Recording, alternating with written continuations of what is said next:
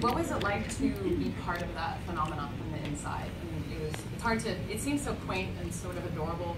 You know, in hindsight, we think things have gotten so crazy. Mhm. But at the time, it, you all were so young and innocent, and it must have felt very special.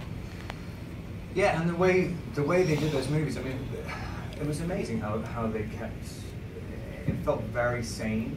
Mhm. Um, I think because they were shooting in the studio, they shot all the movies in the same studio in. Even though they had rotating directors, it was Yeah, yeah.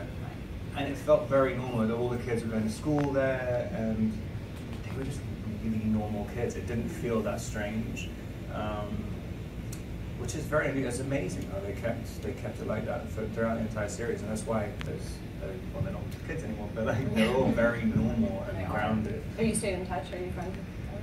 Uh, for a while, but I have I've seen them a few times since. We're all very busy. Yeah.